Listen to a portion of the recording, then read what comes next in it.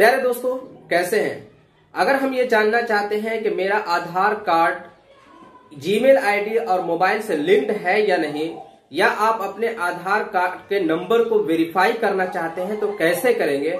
आज की इस वीडियो में हम लोग यही सीखेंगे कि मेरे आधार कार्ड से मोबाइल नंबर लिंक्ड है या नहीं है, और अगर लिंक्ड है तो कौन सा मोबाइल नंबर है जो लिंक्ड है, या जीमेल आईडी लिंक्ड है तो कौन सा जीमेल आईडी लिंक्ड है, हम भूल चुके हैं तो उस चीज़ को हम कैसे जानेंगे और सीखेंगे कि मेरा आधार कार्ड नंबर जो है, वो किस मोबाइल नंबर और जीमेल से लिंक्ड है तो इसी चीज़ को आज इस वीडियो के अंदर हम लोग सीखने वाले हैं। लेकिन उससे पहले एक रिक्वेस्ट है कि अगर आप मेरे चैनल पर फ़र्स्ट टाइम विज़िट किए हैं तो मेरे चैनल को सब्सक्राइब कर लीजिए और साथ में बेल आइकन भी दबा लीजिएगा, ताकि आपको मेरी वीडियो का नोटिफिकेशन आप तक सबसे पहले मिल सके। तो चलिए अब लैपटॉप के स्क्रीन पर चलते हैं और वहाँ चलकर सीखते हैं कि कैसे हम लोग जानेंगे कि कौन सा मोबाइल नंबर और कौन सा जीमेल हमारे आधार कार्ड से लिंक्ड है।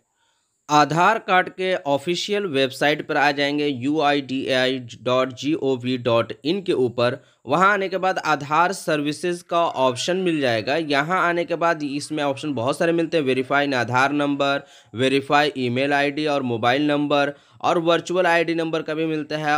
इसी तरह ऑफलाइन ई के वाई सी का भी ऑप्शन मिलता है, लॉक और अनलॉक बायोमेट्रिक्स का भी ऑप्शन मिल जाता है। यानी आपका आधार खो गया है, आप लॉक कराना चाहते हैं तो उसका भी ऑप्शन मिल जाता है।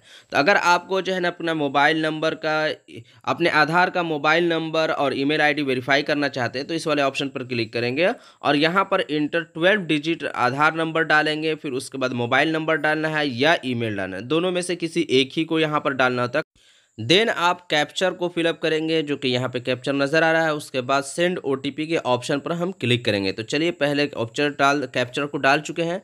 सेंड ओटीपी करते हैं। सेंड ओटीपी करेंगे तो हमारे मोबाइल नंबर पर एक जो है, वन टाइम पासवर्ड जो है ना, सेंड कर दिया जाएगा। उस ओटीपी को यहाँ पर डाला जाएगा। जैसे ओटीपी सेंड यहाँ पर लिख दिया O T P send to your registered mobile number. उसके बाद उस ओ टी पी को यहाँ पर इंटर करना होता है।